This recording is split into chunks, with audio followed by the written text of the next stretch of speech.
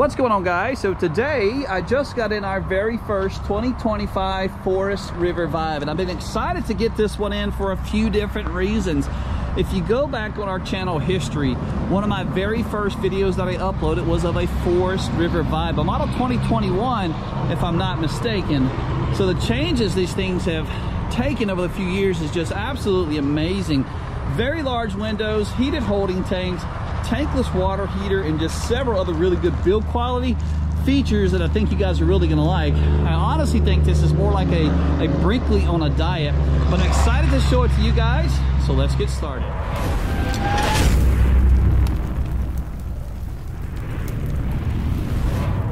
So we are going to start by going over a few of the numbers because if you pull the Vibe up online, all the specs are listed as to be determined. So I want you guys to be able to see exactly what you have here in front of you. So let's take a look at some of the numbers before we make our way inside and then we'll come back out and go over a few things. Total length, so tip to tip, is 34 feet long. Dry weight as it currently sits is 6,964 pounds. Coming around over here, you've got right at 958 pounds of available cargo capacity and your GVWR, gross vehicle weight rating is 7,960 pounds. But we are gonna start on the inside and go over a few features there and then step back out, touching on a few other things here. But the build quality for the Vibe is just absolutely unreal.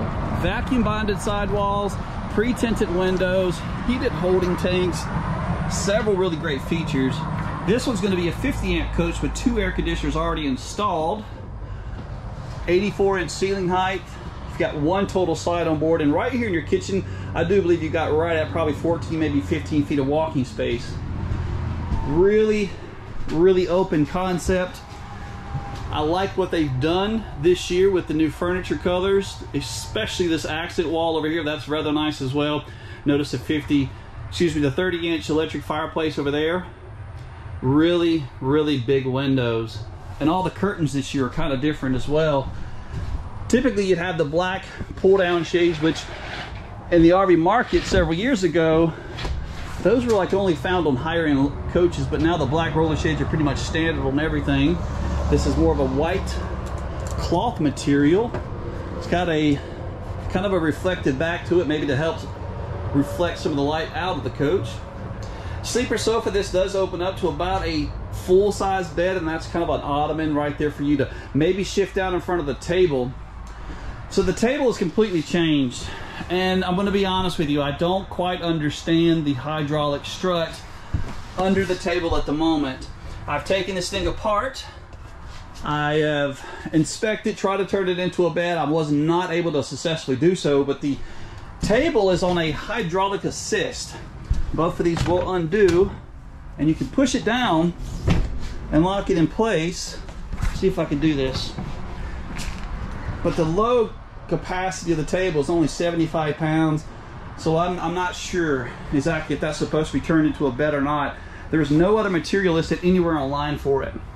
Your countertops are a thermofoil countertop which is just a hard heated plastic wrapped over the material. I like the darker sink and especially the gold accent. Those are very nice. This is also impressive.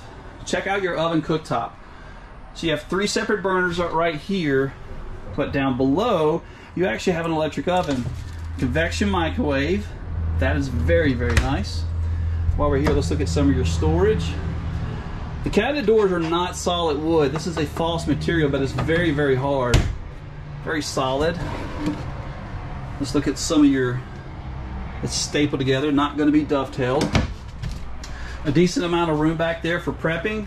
Got the pop-up outlet as well.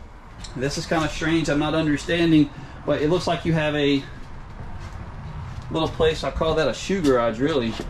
I'm not understanding why they want that there. 12 volt fridge. I do believe that's right at 12 cubic foot, and that's going to be your pantry.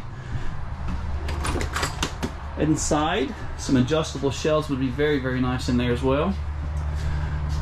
So in your in your living room, you got Thomas Payne Collection furniture. Both of these are going to be recliners as well. Your slide box height, you're a little limited there. I think you're right at five foot ten, but I don't believe you're actually going to be standing anyway. So your heat on board, you got two different sources. I pointed out the electric fireplace, but you do in fact have cabinet vents. You locate it throughout the RV, one there, one there, coming from the 40,000 BTU furnace. And this will be your view if you're maybe enjoying television.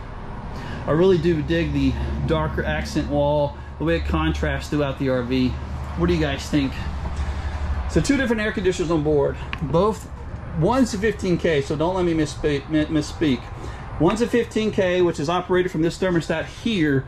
This one's racetracked all the way throughout the coach, so you'll have vents all the way throughout. And you'll also have a, an additional 13.5 air conditioner located in the, the bedroom there. So stepping inside your bathroom, plenty of room. You got a two-piece plastic shower, 84 inch ceiling height as well but you've got right at about a 12 inch step up to get into the shower. Porcelain foot flush toilet, some additional shelving. The shower curtain's been a pretty standard thing with Vibe. It's just the accordion style. Manufacturer claims there's a squeegee on the back side to assist it with drying when you close it. And this will be your prime perfect, your prime pooping position according to Matt. I think you would appreciate the bathroom in this one. Let me give you an idea on your shower though. I'm 6'2 with my, without my shoes on, 6'3 with my shoes. I think the dimensions of the shower are 36 by 30, so there's actually a decent amount of room in here. And all the controls for the hot water here, located right over here, temperatures upwards of 130 degrees. So the good thing about this, you can set your water temperature, let's say at 110, that's what you want. You can come over to your faucet and only turn on the hot. Don't try to combat it back and forth with hot and cold water. The system does not work that way at all. Let's take a look at your bedroom. Bedroom. So this bedroom's kind of nice. We've got washer and dryer connections already in here. Huge windows. Just look at that. That's that second 13.5 air conditioner I was referencing, but you also see the additional vents coming from the ceiling there. You got reading lights on both sides. So behind the closets, you have USB USB-C and 12 volt outlets. This is your closet. You got some additional pull-outs as well. But coming around to the foot of the bed, you got TV connections. You have an additional closet, which can also act for your washer and dryer if you decided to do that. But if you didn't want the washer and dryer, you've got this pretty cool idea that they've come up with to hang your clothes, kind of keeps things out of the way. Or if you don't want to have that, you move it out of the way, go ahead and install your washer and dryer. The windows though are just absolutely huge. To be honest, I'm a big guy, but in the event of emergency, I would not have any problem escaping from this window. These things are huge. What do you guys think about the bigger windows? Is that something you like or dislike? Some people talk about more windows, more heat. So again, if you'd like to view more additional photos, be sure to check that link out found in the video description. It'll take you over to our website so you can view the price, the availability, as well as more additional photos of each make and model that we carry. If you happen to get to our website and this particular camper is no longer available, reach out to me by the phone number or the email address. I can get this one coming or possibly already have another one on the way. We are just a very, very small dealership in the RV world.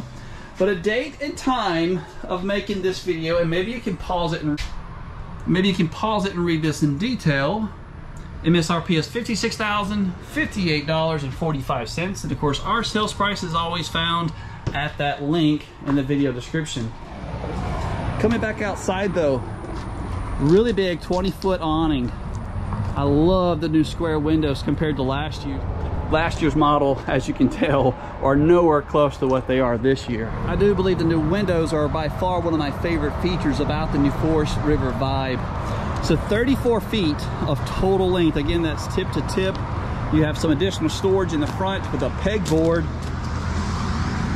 material here so you can get creative and get a little organized with all of your stuff. Aluminum frame all the way throughout the RV, vacuum bonded. Very, very little wood.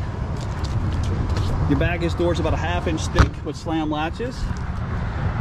You're also going to be stabilized from two sets of electric jacks. These jacks both have their own independent switch And they will only go down till they feel about maybe 10 pounds of pressure before it completely cuts off. These are only going to stabilize the RV. Fully enclosed underbelly. You got a friction hinge on your entry door with the step above Lippert component steps. Check out the spread of the axles. Extra wide spread for a much more smoother ride. And this is the outdoor fridge. They've actually taken away the hot griddle that used to come out on the side. That was something that I used to like. I guess it's something that's not working out well, so they decided to get rid of it. High point fridge, and your doors also a half inch thick, but at least you got magnets now to hold everything back out of the way. That's gonna be the exhaust for the furnace. Second set of jacks. Coming around to the back, LED lights all the way throughout. You are prepped to receive the Lippert component ladder. Blindside camera prepped as well. Got the 4x4 tube of the bumper. That's a good place to store your sewer line. Sewer connections, you've got two different ones. This back here will be gray. The main sewer connection will be all the way in the front. You've got a cable driven slide on the only slide available. That's the exhaust for the tankless water heater. Look at these windows, they're absolutely lovely. And that's what it looks like with the curtain down inside. So that additional tint plus the reflective surface on the back of the blinds will definitely keep it cool inside. That is the main sewer connection right there in front of the tire. And the pull handles are there, and you got another one right over here.